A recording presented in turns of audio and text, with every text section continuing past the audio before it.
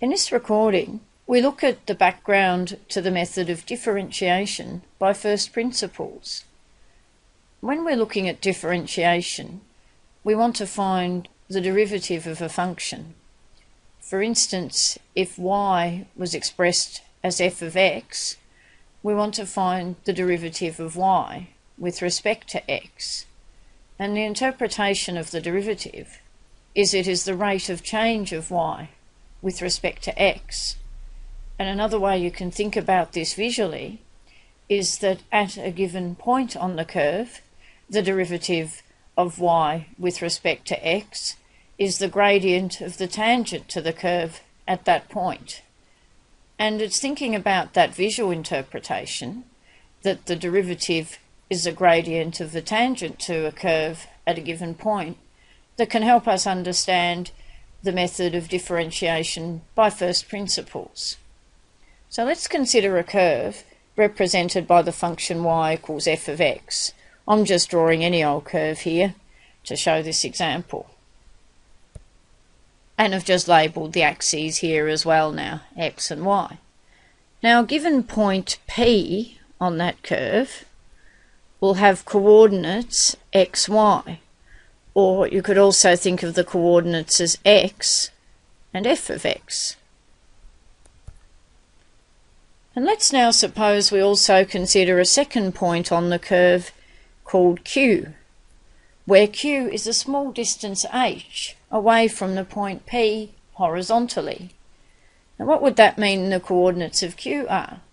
Well, x coordinate is to do with the horizontal coordinate. So if q is h units away from P horizontally, let's suppose it's h units to the right of P, then the x coordinate would be x plus h. And the y coordinate would be the value of the function for x plus h. That is, the y coordinate would be f of x plus h. So I've just redrawn the diagram a bit bigger here with of the curve just in isolation with the points P and Q on it. And let's consider a line that goes from the point P to the point Q. That is, it will be a line like the one I've just drawn in blue. What would the gradient of that line be? Well, when we work out the gradient of a straight line, it's always y2 minus y1. That is the difference between the y coordinates of the two points on the line divided by x2 minus x1, the difference of their x coordinates. And we remember that P has coordinates x, f of x, Q has coordinates x plus h, f of x plus h. Therefore, in this case, the gradient of this line between those two points will be y coordinate f of x plus h, say, minus the y coordinate here, f of x, divided by x coordinate, x plus h, minus the x coordinate of p that I've just called x here. Can that simplify? Not all that much really. Can't really simplify the numerator since we just have general expressions for the functions here. But the denominator, x plus h minus x, the x minus x just gives 0, so that that's divided by h. And as I said, that's the gradient of the line between these two points P and Q that lie on the curve y equals f of x.